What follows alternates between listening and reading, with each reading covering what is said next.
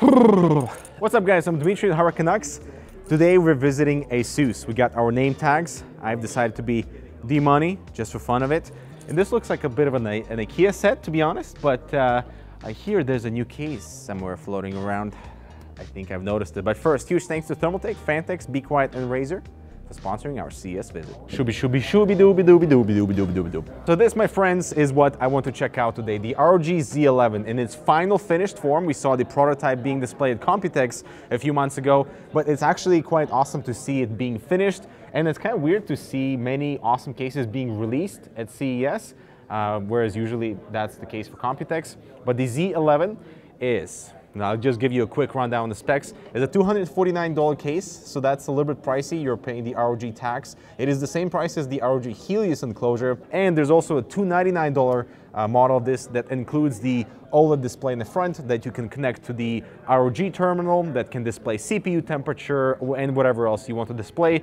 Similar things you see on ROG motherboards. So the $249 price point, what does that get you? It's a full aluminum enclosure, okay? So no steel, full aluminum uh, frame, aluminum paneling on the outside, and some plastic bits here and there. The one thing that this thing reminds me of, uh, outside of having like very ROG uh, complexity and dynamics in terms of the paneling and the little shapes here and there, is if you guys are into sci-fi and if you watched uh, The Expanse, that thing looks like the spaceship, the Rosinante, especially from the back with that beautiful aluminum thing. I don't know, this is something that I thought of when I uh, first saw the case from the rear. So the Z11, where does that come from?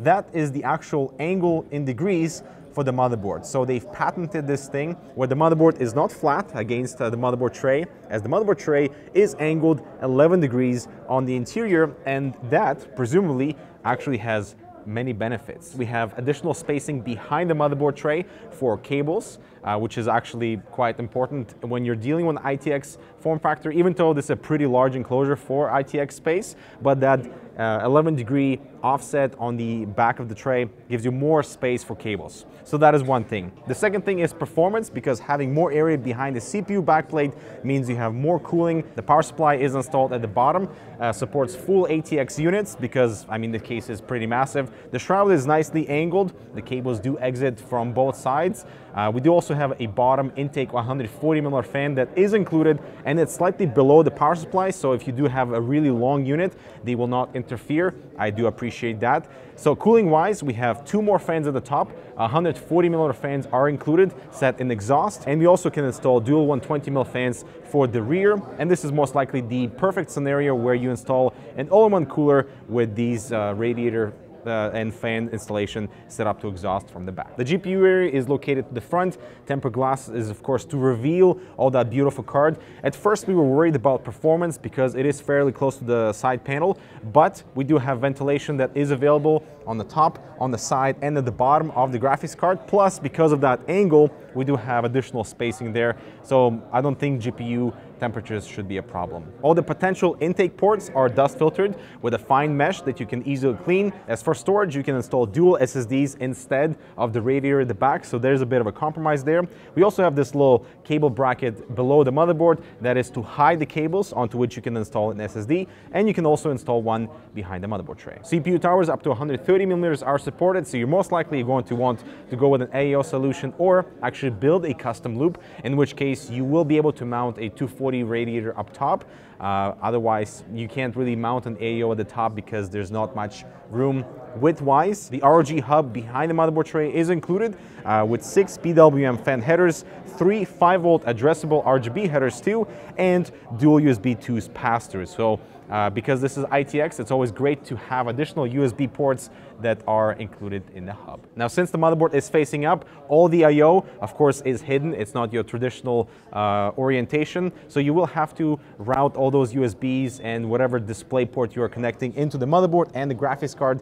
And because the case can orientate both vertically and horizontally. We do have multiple cutouts behind that you can route all these uh, uh I.O. cables, and I'm guessing this is something of a bit of a compromise, but really should not be an issue. The I.O. is also pretty rich with four USB ports, a Type-C in there, and some buttons to control the case light. I have asked them about what the assembly procedure is like because the case does appear to be large, for an ITX system, uh, while also maybe kind of a cramped work in, but they have put conscious effort to make sure that the assembly procedure is as user-friendly as possible.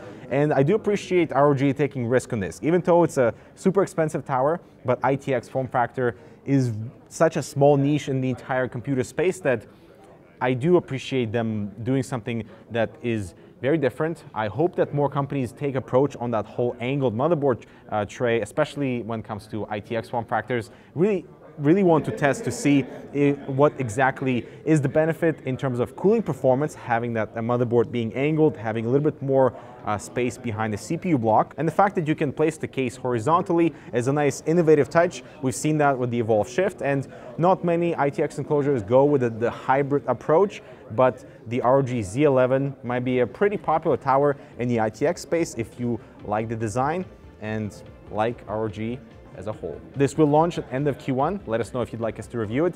I don't think this would be very popular in the ITX space simply because the ITX case form factor has been blowing up lately with really focus on making sure that you can compact as much as possible, whereas the ROG approach I mean, this is a very large uh, enclosure for an ITX form factor, and there is potentially room for micro ITX, but that's not a segment that uh, is very popular.